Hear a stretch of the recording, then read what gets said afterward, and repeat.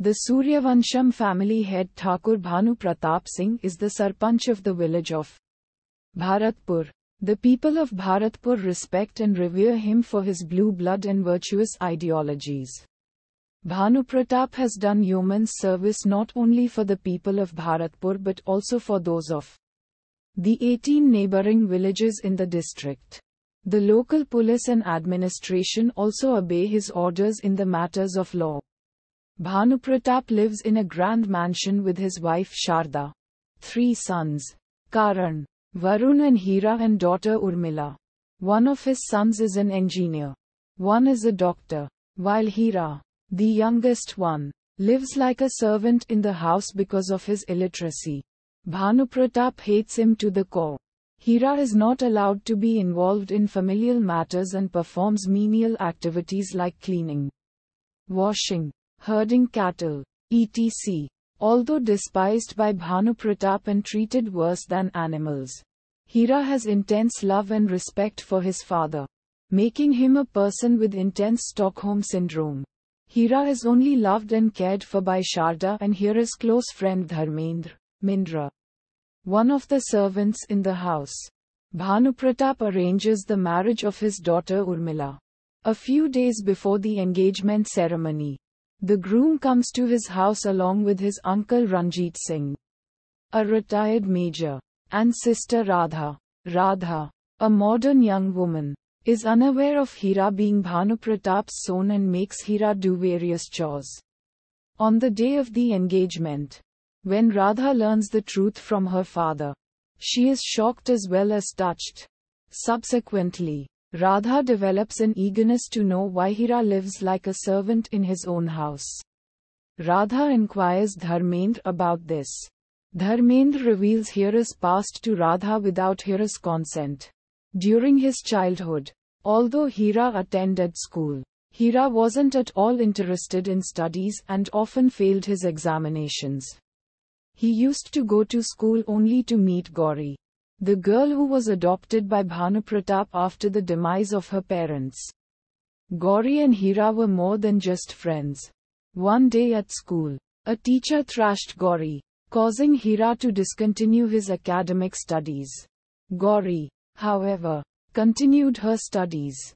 Bhanu Pratap thought that Hira's company would hamper Gauri's studies and sent her to a boarding school in the city. Being separated from Gauri, Hira cheered up when Gauri came on weekends, during which the two met each other. Soon, Hira and Gauri turn adults. Bhanu Pratap planned Hira's marriage with Gauri. When Gauri learns about this, she attempted suicide but was timely rescued by Hira. Gauri told Hira that she would rather die than get married to the illiterate Hira.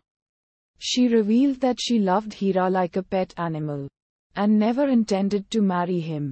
Bhanu Pratap, learning only half the truth, thinks Hira only had lust for Gauri, which made her leave in disgust. He was filled with more hatred for Hira than ever.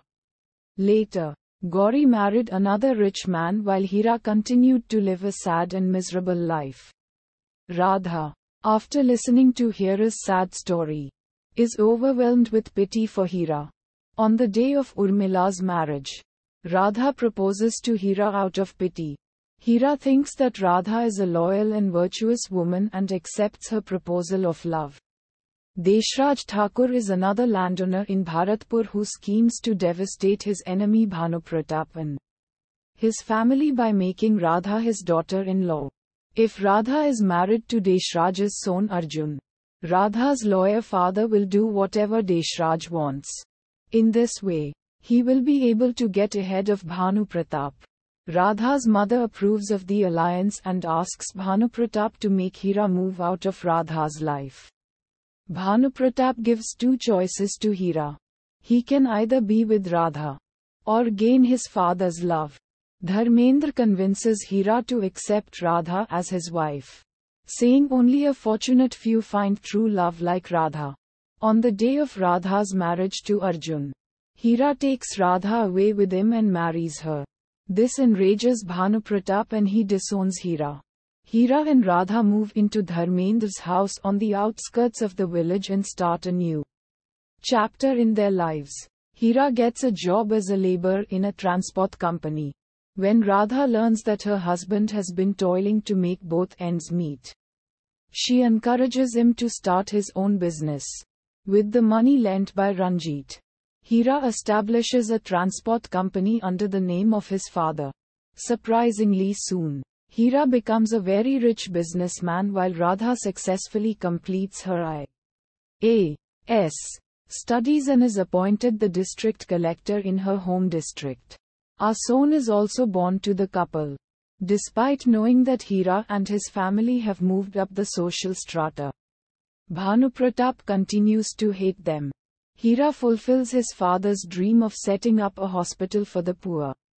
In the ceremony of the hospital's inauguration, Hira delivers a highly emotional speech, owing his success to his father, who, he believes, has expelled him from home so that he learns to fend for himself. Bhanupratap attends the ceremony, disguised as a poor man, and overhears this. Uddharan Chinne. While Bhanupratap reconsiders his life decisions, he accidentally meets Hira and Radha, S. son. After confirming that the child is his grandson, Bhanupratap and the child become friends and spend secret moments with each other. When Hira learns about his, he asks his son about his new friend. The child ruins a photograph of Hira by drawing beard and mustache on it claiming that his friend looks like this. Hira understands that his son is meeting Bhanupratap. Because he and Hira looked exactly alike. Hira hands some kheer over to his son and tells him to give it to his friend. Bhanupratap. When he meets him next. Because Bhanupratap liked kheer. Sharda also gets to know about it and urges her husband to accept Hira back into the family. Bhanupratap suddenly hating himself for hating his son, rings Hira up. Before Bhanupratap speaks a word to Hira over the phone, he vomits blood and becomes critically ill. Bhanupratap is immediately hospitalized and Deshraj publicly holds Hira guilty of trying to kill his father with the poisoned kheer. Because of his expulsion from the family. When Deshraj and his henchmen assault Hira, Thakur Bhanupratap miraculously recovers. Escape from the hospital. Arrives for Hira, Hira's rescue and beats up the goons. Thakur Bhanupratap. Before the crowd. Lays bare the truth of the kheer which was poisoned by Deshraj himself with artifice. Bhanupratap and Hira fight Deshraj and his henchmen until Deshraj confesses his guilt and begs pardon from Bhanupratap.